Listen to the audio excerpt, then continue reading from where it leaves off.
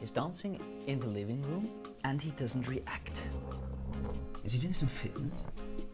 I don't know why he's dancing. He didn't lose another bet, did he? Dave, Why is he dancing?